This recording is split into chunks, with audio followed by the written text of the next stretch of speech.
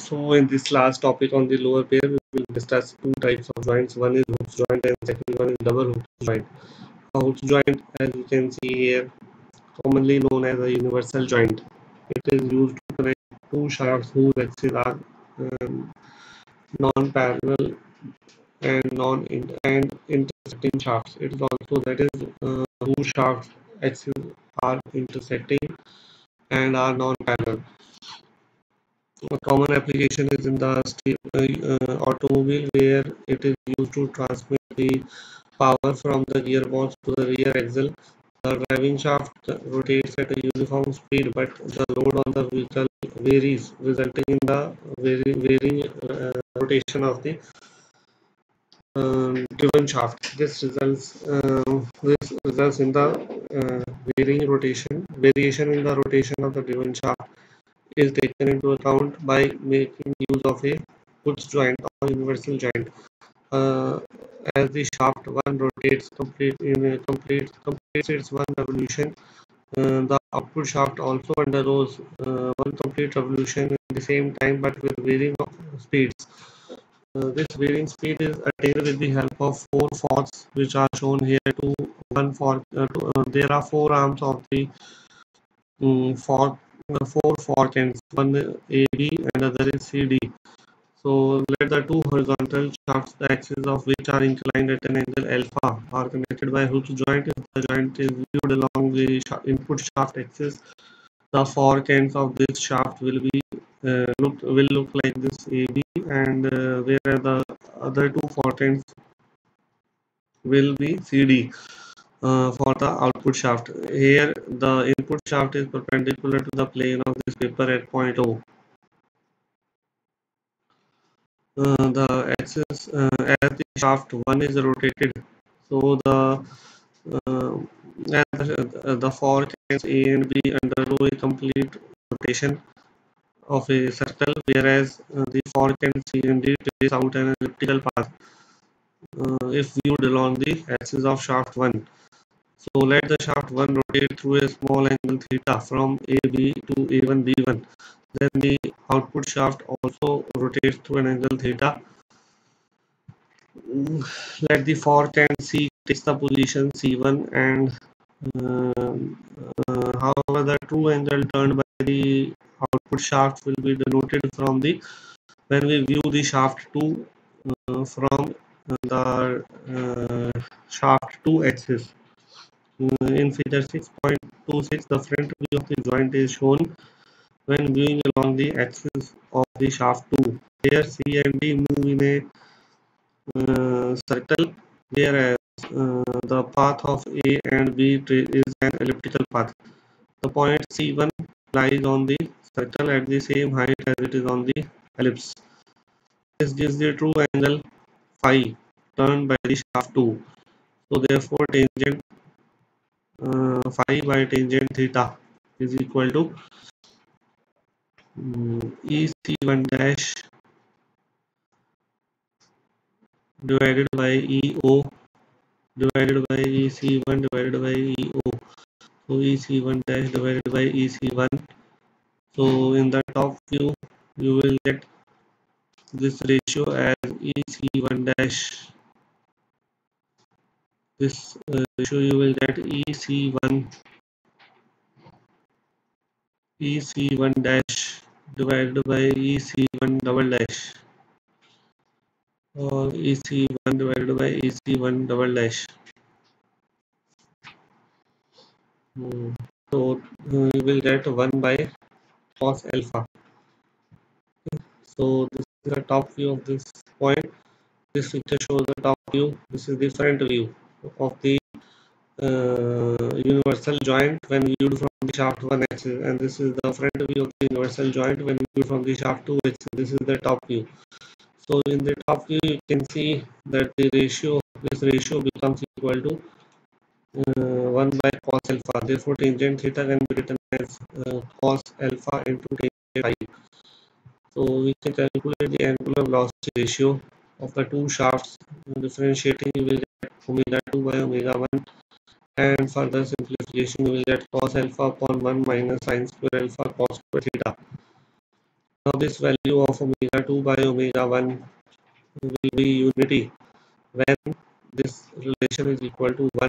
So for that you will get uh, the value of tangent theta equals to plus minus under root cos alpha. Thus omega 2 is equal to omega 1 when the this condition is fulfilled. This is possible once in all four quadrants for particular values of theta if alpha is constant. For minimum uh, value omega 2 by omega 1 to be minimum, the denominator of this equation should be a maximum. So we differentiate it. This uh, so this is possible when theta is 90 or 270 degree or omega 2 uh, if this is the value then omega 2 by omega 1 will be cos alpha. And omega 2 by omega 1 is maximum. Then alpha is uh, theta is 0 or 180 degree. So the variation in speed is shown in the figure 6.27 here the point e corresponds to the angular displacement of the driving shaft. When the angular velocity of the driven shaft is equal to that of the driving shaft points minimum and maximum correspond to the angular displacement of the driving shaft when the angular speeds of the different shafts are minimum and maximum. So uh, we when uh, graphically the variation of angular velocity of the driven shaft can be represented by an ellipse. Okay, so we can represent the variation of the angular velocity of the shaft 2 with the help of an ellipse and that of the driving shaft with the help of a circle. Such a diagram is known as polar velocity diagram. The maximum variation of velocity of the driven shaft of its mean velocity is omega 2 maximum divided by omega 2 minimum minus omega 2 minimum divided by omega mean. But omega mean of the driven shaft is equal to angular velocity omega 1 of the driving shaft as both the shafts complete the one revolution in the same period of time. Therefore, this relation reduces to tangent alpha sine alpha. So, angular acceleration of the driven shaft you can differentiate the angular velocity in order to calculate the value of, and value of angular acceleration which will come out to be this value. And maximum or minimum for differentiate this expression equal to 0 for that we get cos 2 theta is 2 sine square alpha divided by 2 minus sine square alpha. Another uh, variation of Hooke's joint is a double Hooke's joint. This uh, why the, uh, this uh, why the need of the double Hooke's joint arose because in a single Hooke's joint the speed of the driven shaft is not uniform although the driving shaft rotates at a uniform speed. To get a uniform velocity ratio a double Hooke's joint is used uh, which consists of two universal joints and an intermediate shaft T is used. If the angular misalignment between each shaft and the intermediate shaft is equal, the driving and the driven shafts remain in exact angular alignment, though the intermediate shaft rotates at varying speed. Hmm. Uh, in the single joint, we it was shown that the speed of the driven shaft is the same after an angular displacement of 180 degree. Therefore, it is immaterial whether the driven shaft makes an angle alpha with the axis of the driving shaft to its left or right to have a constant velocity ratio, the driving and the driven shafts should make equal angles with the intermediate shafts. The forks of the intermediate shaft should lie in the same plane. So this condition is satisfied here. The forks of the two universal joints lie in the same plane and the driving and the driven shafts make equal angle alpha with the intermediate shaft. Let gamma is the angle turned by the intermediate shaft 3 while the angle turned by the driven shaft driving and driven shaft with theta and phi respectively. Thus tangent theta is cos alpha tangent gamma.